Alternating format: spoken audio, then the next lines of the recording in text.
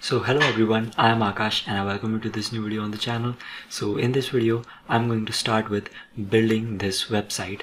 So in the last video, I showed you this uh, website and this is the website that we are going to build throughout this series. So I'll show you all the different things that you can create, how you can uh, create this uh, dark mode button as well.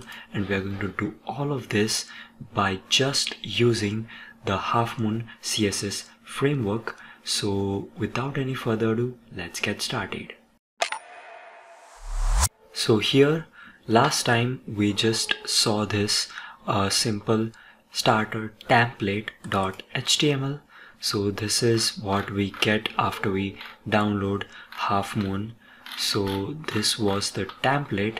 So now the website that I showed you contains three different HTML pages.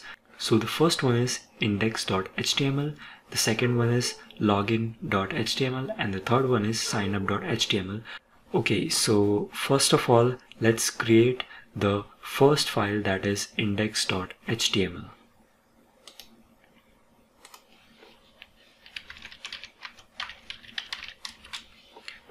so this is going to be our main page. Now here I'm going to generate a basic template and paste the code for that here.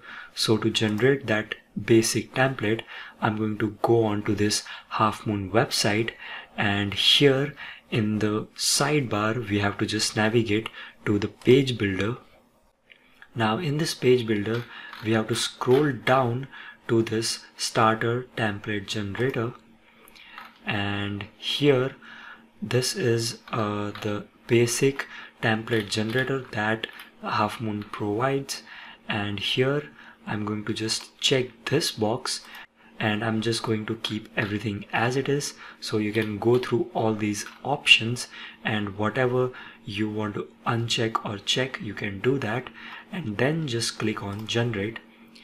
And it is going to generate a basic template for uh, us to work on. So let's copy this and let's paste it here. So this is our basic template. Now we are going to work on this template. So first of all I'm just going to remove this and I'm going to write here square and that's it so we have already this css file linked here. Now let's run this. So i'm going to start the live server. And this is the basic view that we get here. So we already have this uh, sidebar section. We have a nav bar and we have a footer. So now first let's start with the nav bar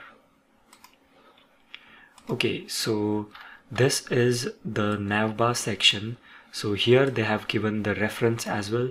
So you can go directly onto this link or I already have this website open.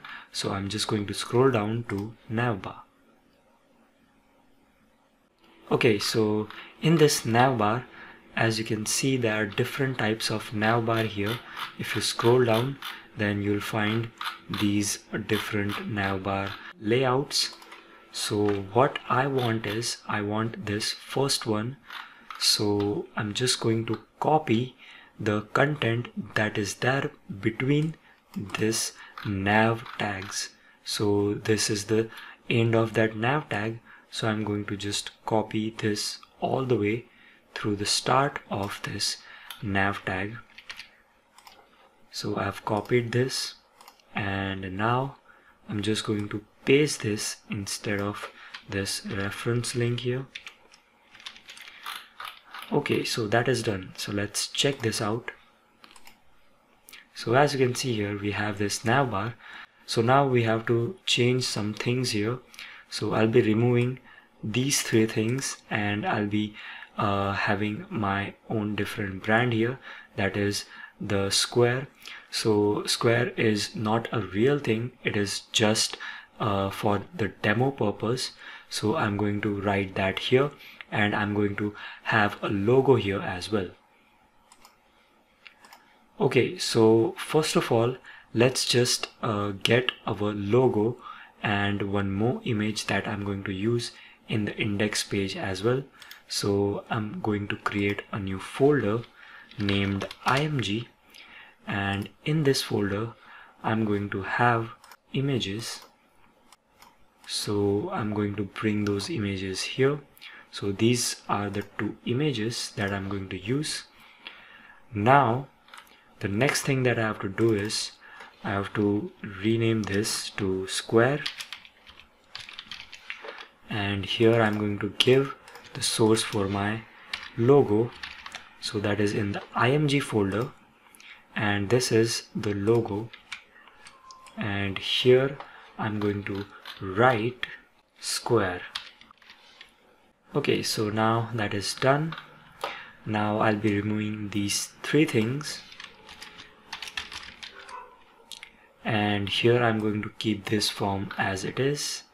And here we also have this another menu but if you go here then you won't find this menu.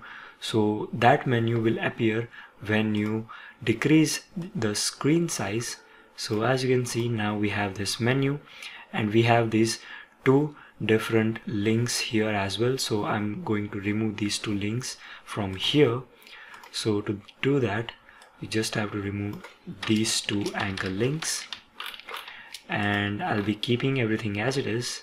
So now let's see. So as you can see we don't have those links anymore.